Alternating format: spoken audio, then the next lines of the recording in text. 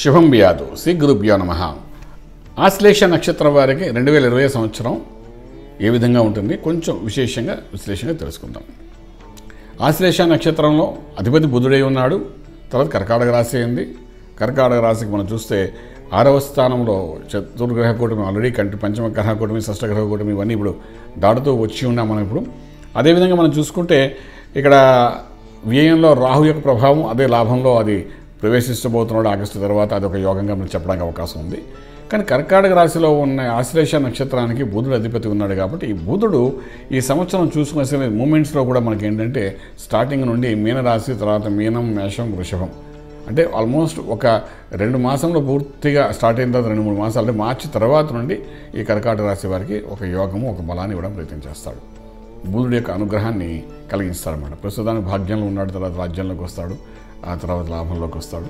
ఇలా వరుసగా బుధుడు యొక్క మూమెంట్స్ చూసుకుంటే కొంతవరకు ఒక పాజిటివ్ ఎనర్జీ అనేది స్లోగా రావడానికి అవకాశం ఉందన్నమాట.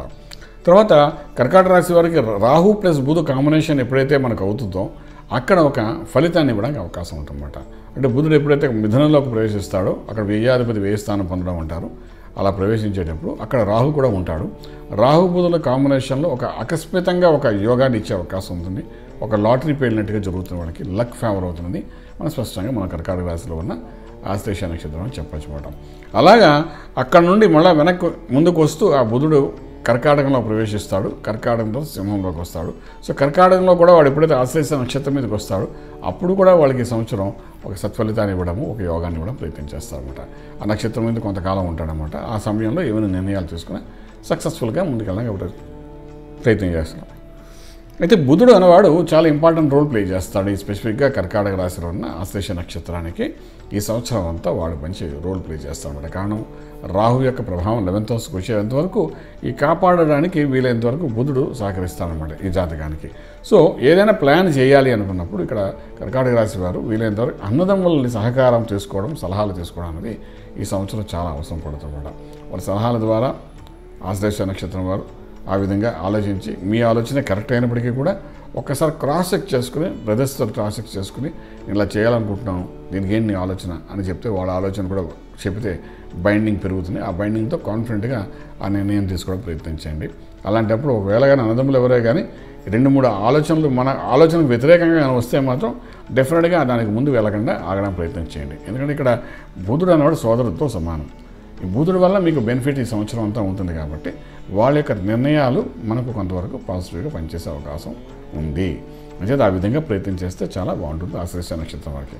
తర్వాత ఇంకొక విషయానికి వచ్చినప్పుడు ఏడేంట్లో శనీశ్వరుడు ప్రవేశించినప్పుడు ఇక్కడ ఫేవరబుల్గానే జరుగుతుందో అన్ఫేవర్ అని జరగదు. ఎందుకంటే బుధుడు యొక్క మిత్రుడే శనీశ్వరుడు కూడా కాబట్టి ఈ నక్షత్రం మీదకి వచ్చినప్పుడు భార్యాభర్తల మధ్య ఇంతకుముందు ఉన్న ఇబ్బందులు కూడా రెక్టిఫై చేసుకుంటూ ముందుకు తీసుకోవడానికి ప్రయత్నం చేస్తాడు. అంచేత నష్టం అనేది జరగటం తర్వాత ఇంకొక పాయింట్ అంటే ఈ సంవత్సరంలో శని కుజుడు ఇద్దరు కలిసి సుమారుగా సంవేదన ఏప్రిల్లో కలుస్తారు. ఏప్రిల్ ఫస్ట్ వీక్లో కలుసుకుంటారు కరకాలం మకరంలో కలుస్తారు.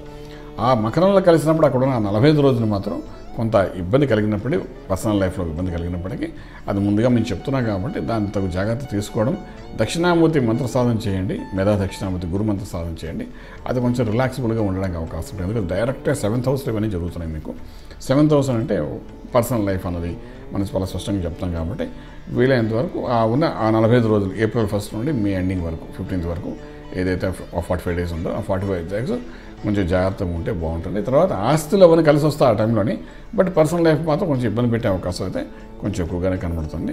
ఏదైనా ఇప్పుడు ప్రస్తుతానికి రవి ఉన్న స్థానం చాలా బాగుంది కాబట్టి మొదటి మాసం అంటే మనకు అంటే సంక్రాంతి సమయంలోనే కొంత గుడ్ న్యూస్ వినడానికి అవకాశం బాగా వీళ్ళకి కనబడుతుంది. అలాగే ఒక ఫైవ్ మంత్స్ తర్వాత అంటే కర్కాటక మన జనవరి ఉంది కదా ఫిబ్రవరి మార్చ్ ఏప్రిల్ మే. మేలో మాత్రం మీకు మళ్ళీ ఒక చిన్న ప్రమోషన్ ఇంక్రిమెంట్స్ లేకపోతే ఆర్థిక బలం పెరగడం ఇవన్నీ కూడా జరిగే అవకాశం చాలా స్పష్టంగా కనిపిస్తుంది.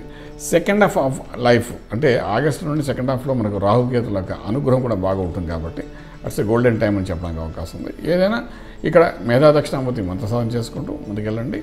రాజమార్గంలో రాజ్యం పొందగలుగుతాం. శుభం వ్యాధి. పూర్తి వివరాలకు సంప్రదించండి. Sri Vedamata Gayatri Jyotishyalayam. Brahma Srimanta Suryanarayana Sharma. Srinilayam first floor one not one Sai Vaibhav layout Chitrapuri colony Khajaguda Hyderabad five lakhs eight. సంప్రదించవలసిన phone numbers triple eight triple five nine one four seven triple eight triple five nine one four eight 984 999 6444.